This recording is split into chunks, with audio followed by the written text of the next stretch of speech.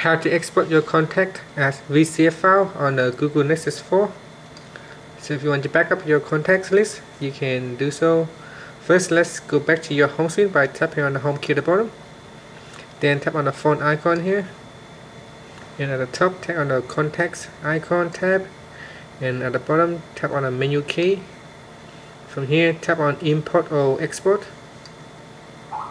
Then tap on export to storage and this will export the VCF file to your storage device so to your memory. Then simply just tap on OK. And that's the export contacts data. So if we go to the one there.